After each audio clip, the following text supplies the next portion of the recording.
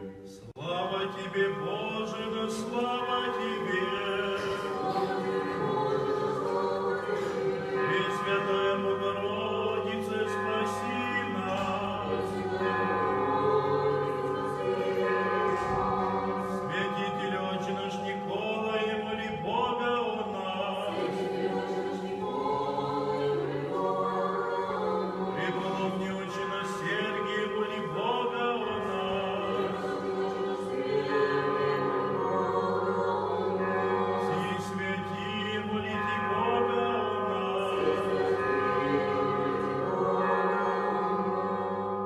Во имя Отца и Сына и Святого Духа. Аминь. 9 января. Память преподобного Евстратия. Преподобный Евстратий родился в Тарсийской области от богатых и благочестивых родителей Георгия и Мегефы. Будучи воспитан ими в добрых нравах, он по достижении 20 года от рождения распалился желанием послужить Богу и, оставив родителей, бежал в гору Олимп, в Авгаровскую обитель, где уже прославились своей добродетельной жизни в иноческом образе два дяди матери его, Григорий и Василий, из которых первый был игуменом той обители. Будучи принят ими и остригши свои волосы, Евстратий стал проходить трудное иноческое житие и был любим всеми за свое смирение и кротость. Он вовсе не заботился о мирском, ничего не имел, кроме одной власяницы и овчины, на которой спал. Он даже не имел своей кельи, особого места, которое бы мог назвать своим. Почему обыкновенно спал там, где приходилось, да и то понемногу. Отцы говорили о нем, что во время сна он с самого дня своего пострижения не протягивался во всю длину тела, а также никогда в течение целых 75 лет своей подвижнической жизни он не ложился на левую сторону тела.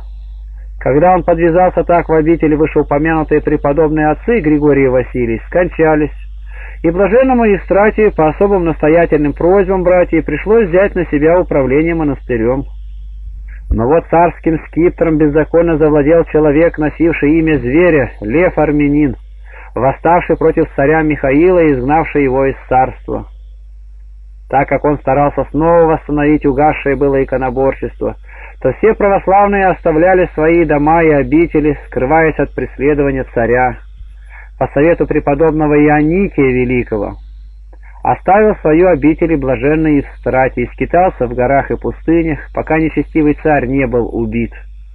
Когда же после его погибели святая церковь снова украсилась иконами и стала совершать им поклонение, тогда вместе с другими отцами, возвратившимися в свои обители, возвратился в Авгаровский монастырь блаженный Евстратий и стал по-прежнему неленостно подвязаться и трудиться в монастырских работах вместе с братьями. Молитва не сходила с уст его, и даже во время богослужения, находясь в святом алтаре, он непрестанно повторял про себя «Господи, помилуй». Совершил он также много чудес, которые, несомненно, свидетельствовали о богоугодности его жизни. А когда ему пришлось время, пришло отойти от этого мира, то он, созвавший братьев, сказал ей, «Время моего отшествия наступило, поэтому умоляю вас, чада мои любимые, сохранять те предания, какие вы приняли, зная, что все блага этой жизни скоро приходящие, они временны, тогда как благо жизни будущей вечны. Старайтесь и вы войти в число спасающихся. Сказав это, он помолился и осенил их крестным знамением, и, возведя очи к небу, произнес «В руки Твои, Господи, предаю дух мой». С этими словами он почил сном покоя о Господе. Прожив всего 95 лет, он перешел в вечную жизнь и причтен был к лику преподобных. Богу нашему слава во веки веков. Аминь. Просим, приходите, подписывайтесь, э, будете регулярно получать с нашего канала.